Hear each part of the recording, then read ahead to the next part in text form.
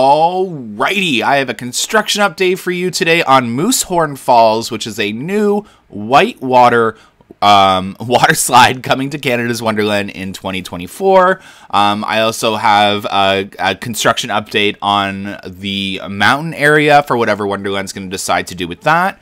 And then I can talk about a little bit a wild beast. Um, but for those of you that don't know, Wonderland has announced an all new massive water slide uh, with a vertical wall that will be going in Splashworks. And it looks like they started digging ground exactly on announcement day. It's very early, honestly, for Wonderland to start that, but maybe they've been falling up behind on their other construction projects um, in you know like Snoopy's Racing Railway and Tundra Twister, so they want to get ahead of things now. Um, but yes, it will be located by the looks of it on that giant grass hill next to the cabanas and the wave pool in Splashworks. Um, work has started on the water main, um, and there's a pump house building there that I, I don't know if it, they've been gutting it or uh, removing the things in it, but work has definitely started here. For those that might be asking, I do have permission to film in Splashworks as long as I have no guests in Splashworks in the shot. So these shots are approved.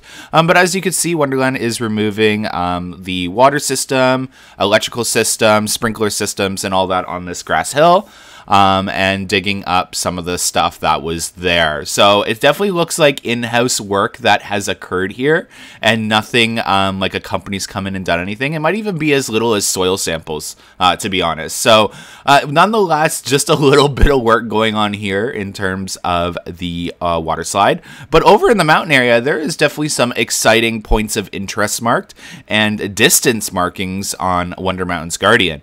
Now I want to talk about that because that is interesting. Uh, they are distance marking Wonder Mountain's Guardian, which has me believe, which has me thinking they might actually keep it.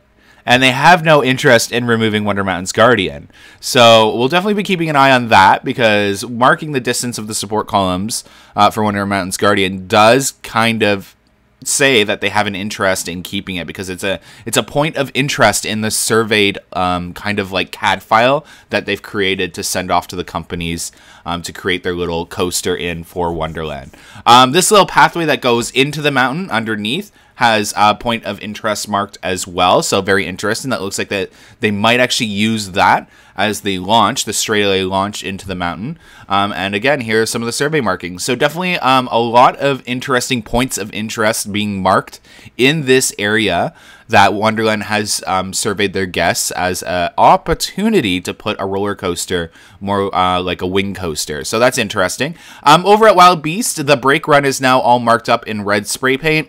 Um, they have an orange point of interest marking and the uh, turnaround, the fan curve, um, and the drop also has points of interest marked on it as well. So very interesting stuff going on over at Wild Beast, and that is why I am holding on to the fact that it might actually be a Gravity Group renovation for 2024. Anyways, that's your construction update for today, guys. Hopefully you enjoyed it. It's been a while since I've done one of these. Have a great weekend, guys. Bye.